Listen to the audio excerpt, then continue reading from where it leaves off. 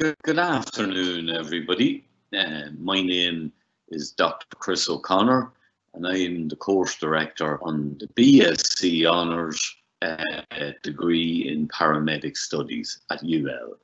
So you're all very welcome to Open Day presentation.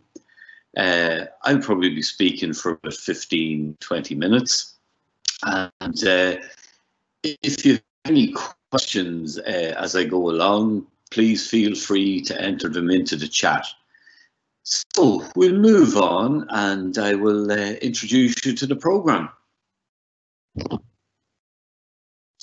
So the course we get here uh, in UL, there's a dual award.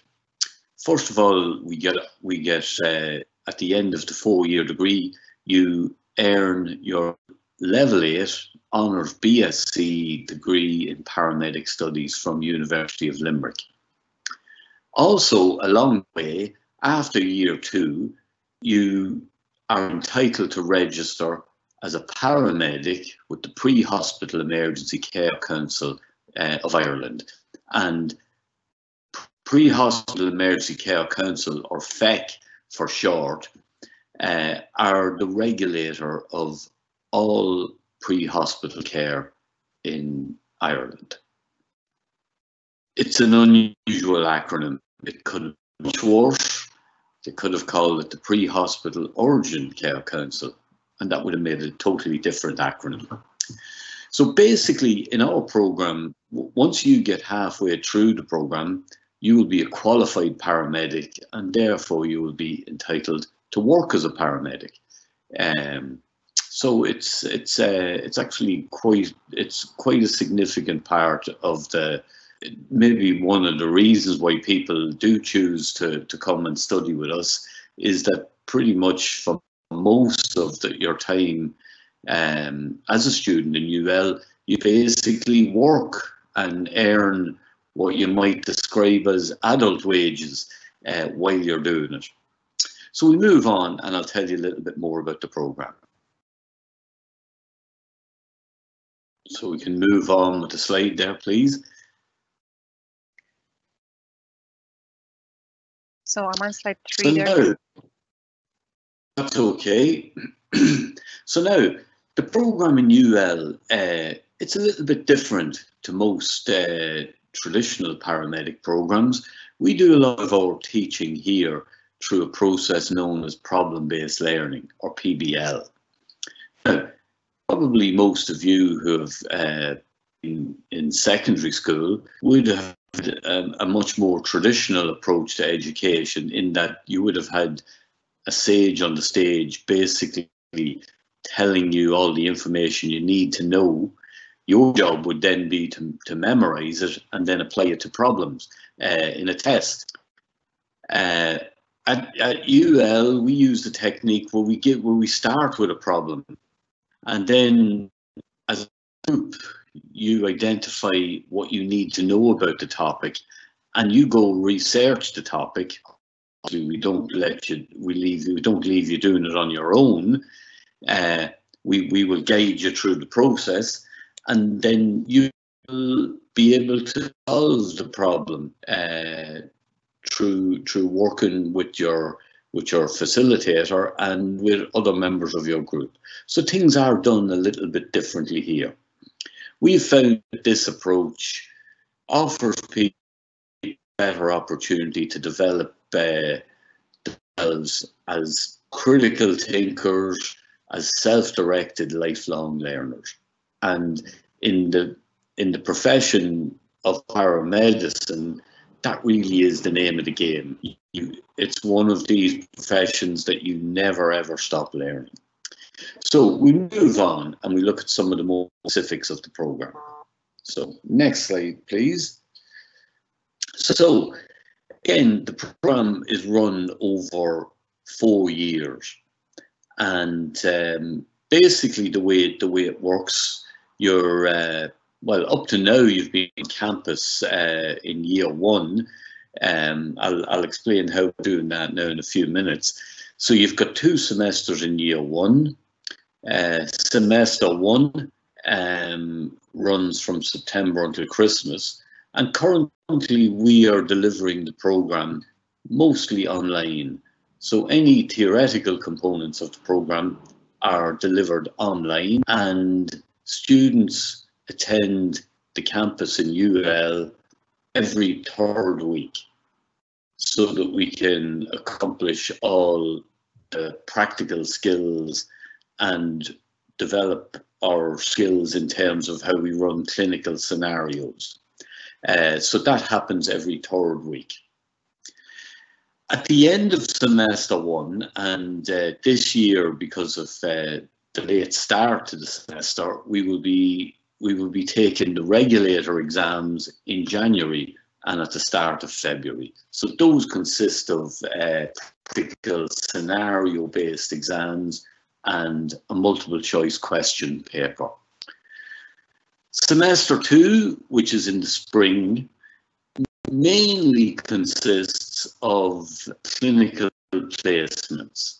So this is what, what PHECC refer to as your undergraduate internship.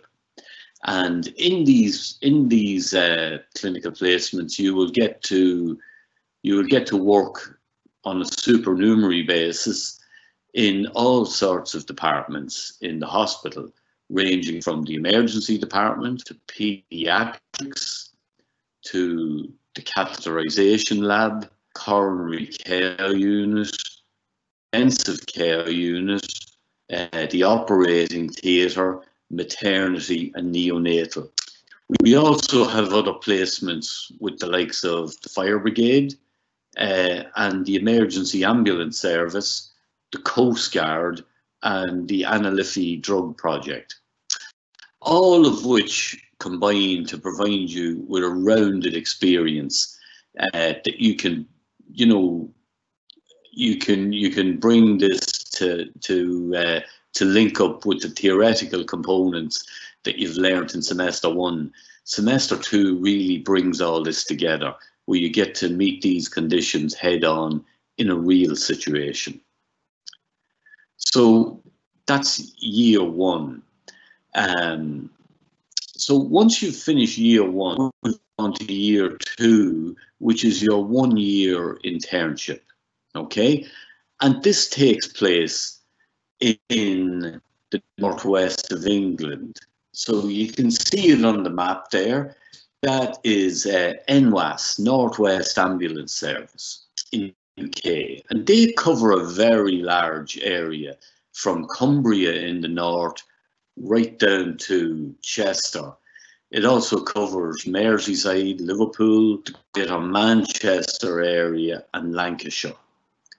So it's quite a big area. And just to give you an busy this service is, on Christmas Day in 2017, the whole of Ireland answered 1500, or sorry, 1400 999 emergency. The NWAS area answered four and a half thousand. So when I say this is a busy ambulance service, and you will gain tremendous experience over there. I mean, it it it's uh, it really is a fantastic experience. How good of an experience, you might very well ask. Well, if I can put it like this, most of our students who went there last year are still working there by choice because they want to work there.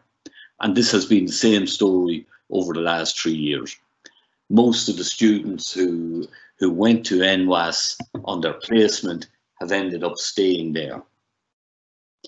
Um, so you will find it a good experience. Now, it's also worth noting that when you're on your placement in NWAS, you will be paid. You will be a paid employee, which is good because you can afford to live. So you will not be the the archetypical impoverished student.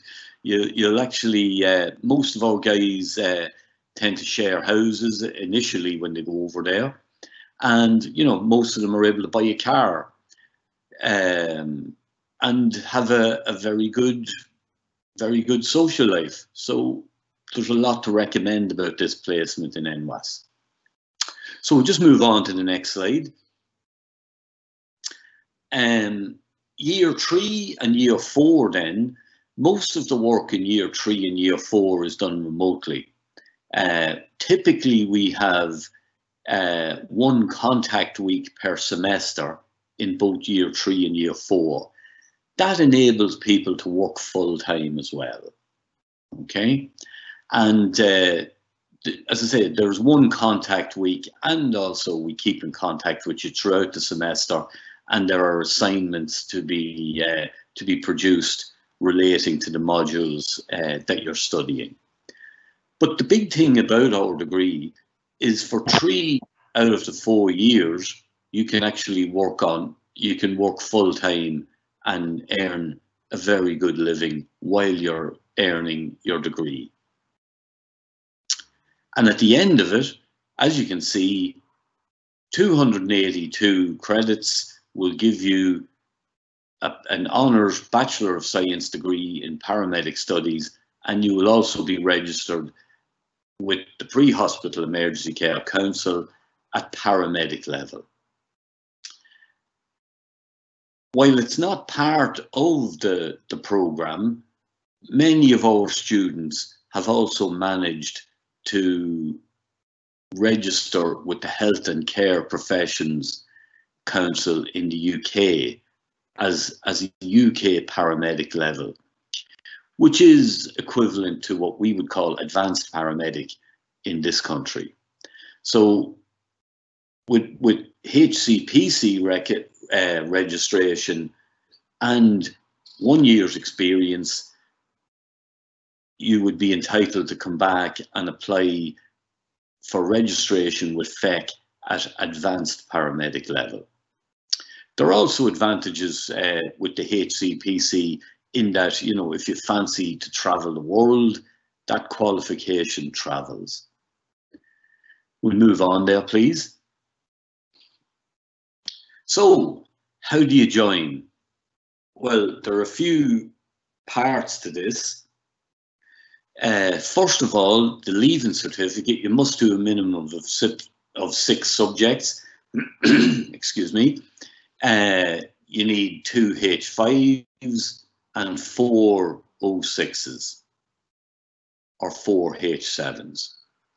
The subjects must include maths, Irish or another language, and English. And you must also have one of the science subjects listed below. In addition to this criteria, on the next slide, you also have to have a full, clean B license and a provisional C or a C1. Now, if you have a if you have a full C license or a C1, all the better, but you must at a minimum have a provisional C or C1. And it's also worth noting that by the time you finish year one, you must have a full C or a C1. So the, the C1 license is, is a progression point to get to year two. The other requirements we have is you must uh, pass Garda vetting. I mean, if any of you happen to be uh, undercover axe murderers, we would like to find that out before you start the program. And the other thing you need to do is you need to pass the occupational health assessment.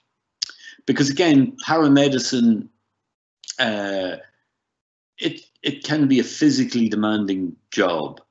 Uh, because remember what you've got to do. You've got to work shift work, for example, and most uh, ambulance services tend to operate 12 hour shifts. So that would be flipping back and forward between day shift and night shift. So that in itself is hard work.